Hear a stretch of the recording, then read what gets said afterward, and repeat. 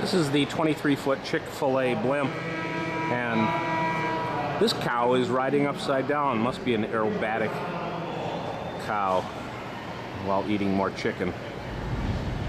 It's just a big show off.